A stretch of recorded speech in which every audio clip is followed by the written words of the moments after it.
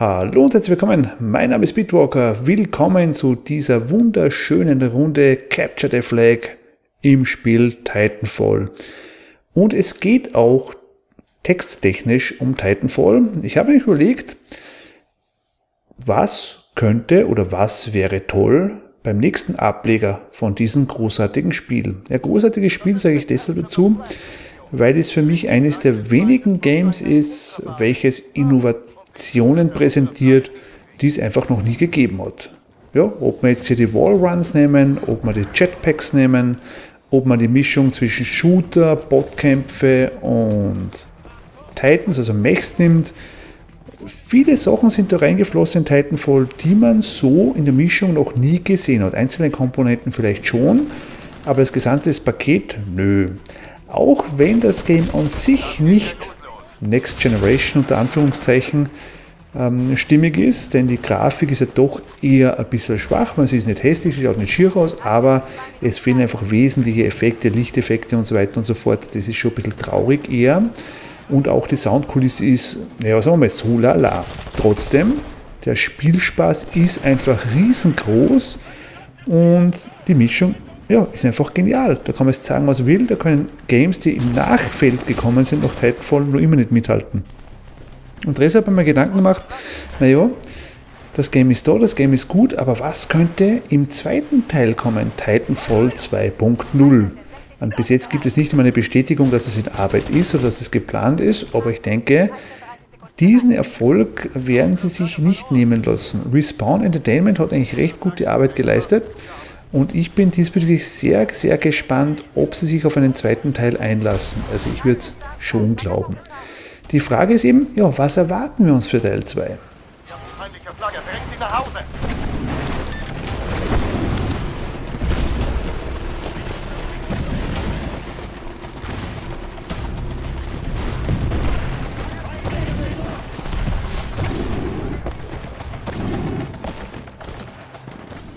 Tja, ich habe mich ein bisschen bei, bei Facebook gefragt und mir auch selber Gedanken gemacht.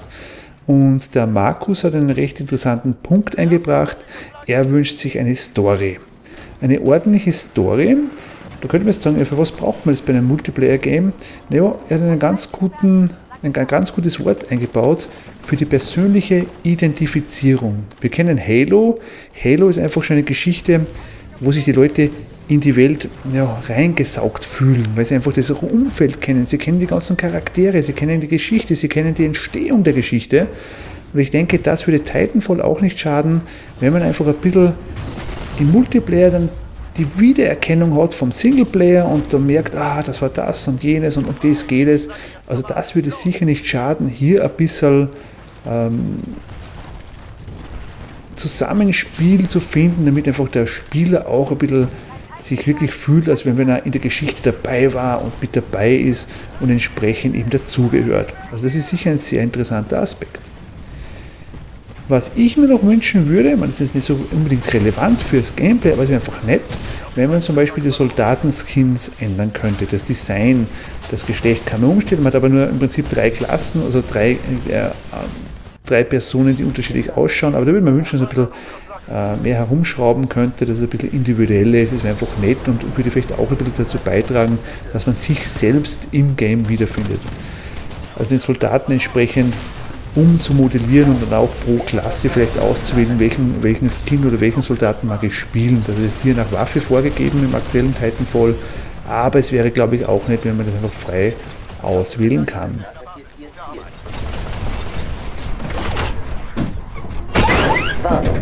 Gegnerischer Pilot an Bord. Sie sollten ihn persönlich ausschalten. Aktiviere Schadensystem. Ihr Schadensausdruck wurde erhöht. Ausland, Ausland, Ausland. Die Waffenauswahl ist auch so eine Sache. Und auf der anderen Seite brauche ich wirklich so viele verschiedene Waffen die einen sagen ja, die anderen sagen nein. Ein bisschen mehr Auswahl wäre vielleicht schon nett, also dass man zum Beispiel in der Sturmgewehrklasse mehrere verschiedene hätte, dann bei der MP verschiedenste hätte äh, und bei der, bei der DMR und so weiter. Also es wäre schon nett. Es ist nicht unbedingt der Must-Have, aber es wäre einfach toll und wenn auch vielleicht ein bisschen mehr Kombinationen möglich wären von Zubehör, äh, ja, ein bisschen da, ein bisschen die, es fehlt mir da ein bisschen, wie soll man sagen, die Liebe zum Detail. Ja, da könnte ruhig ein bisschen mehr sein. Also da wäre sicher auch ganz eine gute Sache, wenn sie ein bisschen reinschrauben würden und vielleicht ein bisschen weiterarbeiten würden. Ein ganz großes Ding, was ich gewaltig finden würde, wäre, wenn man den Titan ein bisschen modifizieren kann. Also wenn ich den Titan vielleicht aus verschiedenen Komponenten zusammenstellen kann. Also so sage, okay, ich will jetzt ähm, Füße zum Gehen oder ich will ein, ein, ein, Kettenfahrwerk haben, dann ist er zum Beispiel schneller, aber vielleicht nicht ganz so wendig oder was, äh, kann, bei, kann vielleicht an irgendwelchen ähm, Gebieten nicht hinfahren und so.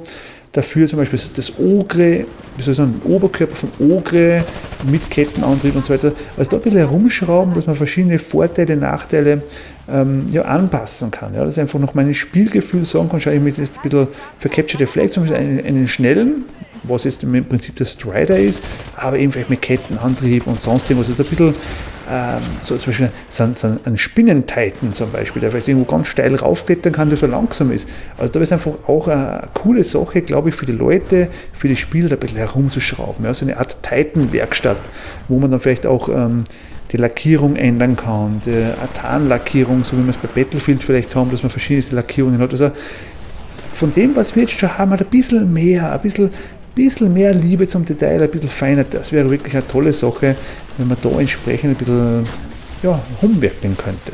Das wäre für mich schon, wie gesagt, das sind alles so Sachen, die, sind, die wären nett, aber ich glaube, das wäre genauso ein bisschen für, für, für das nächste Titanfall. Piloten, gleiche Seitenwechsel.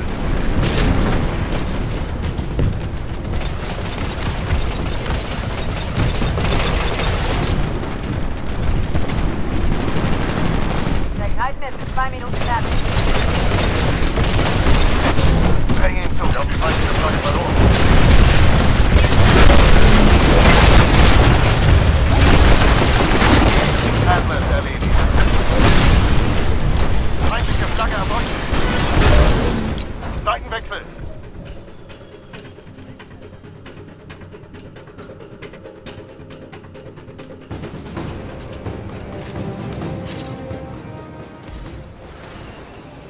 Eine für mich immer wichtige Sache, das habt ihr immer wieder rausgehört bei meinen Gameplays oder bei meinen, ja, wenn ich mit der Jammer oder schimpfe über ein Game, ist der Sound. Der Sound ist für mich ganz was Eklatantes. Ihr kennt, ihr kennt es, jeden Film, den man im Kino anschaut, da ist es wichtig, dass er ein genialer Hintergrundsound ist, der einfach die Stimmung anpasst. Äh, ihr kennt es von Halo, das, das, das, das hat für mich äh, eine Menümusik, da kriege ich mal Gänsehaut. Und ja, auch Titanfall hat Musik, aber die ist für mich ein bisschen zu ja, zu flach. Aber es geht nicht nur um Musik, sondern es geht um die Sounds allgemein. Also ich erwarte mir bei gewissen Sachen ein bisschen mehr Wumms noch vielleicht. Ja. Äh, Granaten sollen sich satt anhören, sie sollen sich vielleicht ein bisschen unterschiedlich anhören, je nachdem, wo ich gerade bin. Ähm, ein bisschen realistischeren Klang vielleicht. Also da könnte man ein bisschen mehr Arbeit reinstecken, vielleicht um ein paar verschiedene Sounds aufzunehmen, eben auch unterschiedliche. Also es würde mir einfach gefallen, wenn nicht immer alles gleich ist, ja, wenn sich jede Granate gleich anhört. Äh, es soll ein bisschen Abwechslung bieten bei den ganzen Sachen. Aber das ist zum Beispiel auch was mit dieser, mit dieser Intro-Sequenz. Wenn, ich äh, wenn wir jetzt mit dem Schiff irgendwo zum Bestimmungsort fliegen, ist es immer gleich. Dieser kleine Roboter steht da, deutet uns, dass wir rausspringen können, man springt raus. Ja. Und auch der Schluss jedes Mal hin, Raumschiff und ab. Also da wäre es auch toll, wenn diese, diese standardisierten Sachen, die immer wieder kommen, wenn die trotzdem Abwechslung bieten würde. Das beste Beispiel bei, bei Forza zum Beispiel, wenn man startet, das ist immer das, die Sequenz, wo man das Auto von außen sieht und dann schaut der eine Typ beim Fenster rein und äh, alle beide Daumen hoch und fertig. Das ist jedes Mal das Gleiche. Also da wäre es schon auch toll, nach meiner Meinung, wenn man da ein bisschen Abwechslung hat. Soll es 10, 20 Sequenzen geben, das kann nicht das Problem sein, denke ich mal, dass einfach ein bisschen Abwechslung da ist und dass man nicht immer mit dem Raumschiff weg muss, sondern mit irgendwas anderem, dass man irgendwo hin muss, irgendwo rein und äh, weiß der Kuckuck, ist da ein bisschen Abwechslung bieten, die nicht vorhersehbar ist. Es ist immer ein bisschen für Überraschung sorgen, das wäre eine tolle Sache.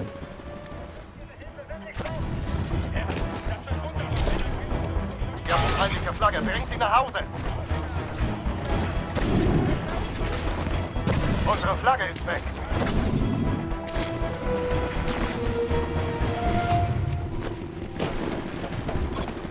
Halten es in 60 Sekunden bereit.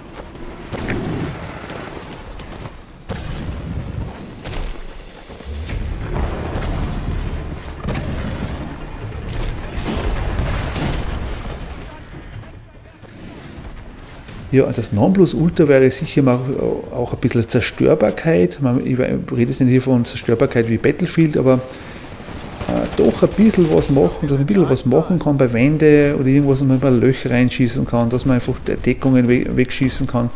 Da ist Titanfall sehr, schon sehr starr und, und absolut unrealistisch. Ja. Ähm, ich weiß schon, es gehört zum Spiel irgendwie dazu. Auf der anderen Seite wäre es einfach nett, es wäre einfach nett, wenn das ganze, die ganze Welt, die ganze Umgebung ein bisschen interaktiver ist, wenn es ein bisschen mehr gibt, dass man das nutzen kann, Geschütztürme, äh, ja, weiß der Kuckuck was, also ein bisschen mehr äh, Dinge, die einfach dazu bei, beitragen, dass das ein bisschen, ja, sie auch äh, wohliger anfühlt. Äh, ein Ding, was mich auch immer wieder stört, ist das Killcam, die Killcam. Bei der Killcam, da sieht man, äh, dasselbe Problem, was bei Call of Duty früher gegeben hat. Ähm, wenn zum Beispiel der Gegner schießt und, und, bewegt sich nach links, die Kugeln fliegen aber trotzdem so nach rechts in meine Richtung noch. Ja?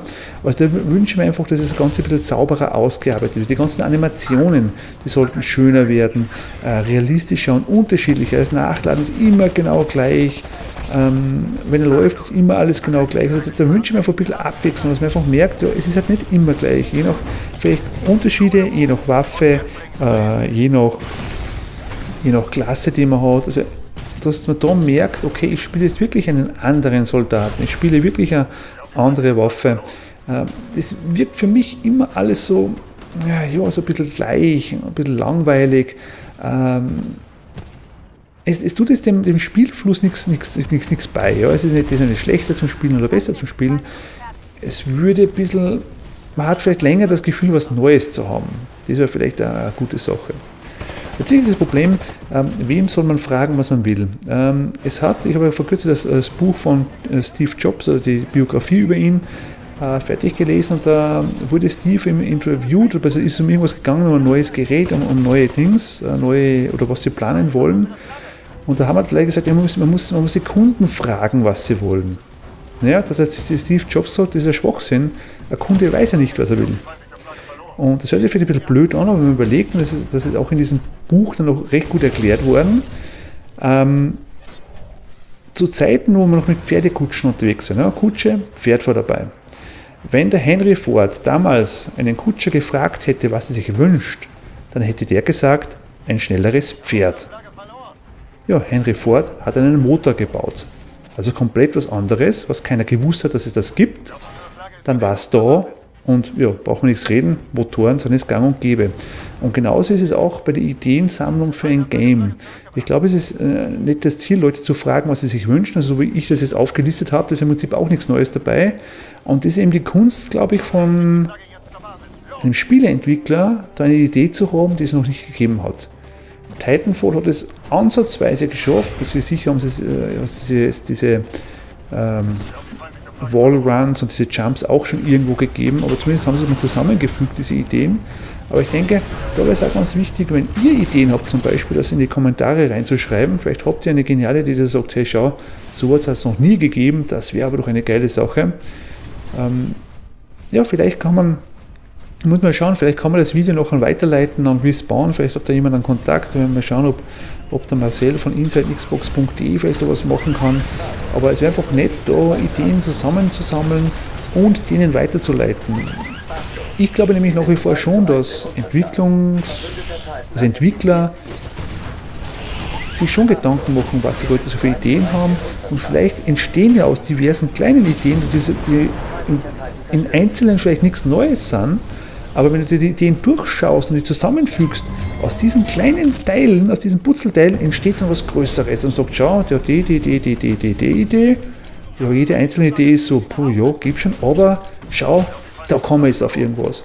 Und das kann ich mir schon vorstellen, dass da was kommt. Und, und Titanfall 2 ist, glaube ich, in einer guten Situation, einen guten zweiten Teil zu bringen, weil wenn ich so erfolgreich ist auf einer neuen Konsole mit ein bisschen einer älteren Technik, dann muss neue Technik erst eine mega geile Sache sein. Und da bin ich wirklich gespannt darauf. Also ich hoffe, dass Titanfall 2 ein Thema ist.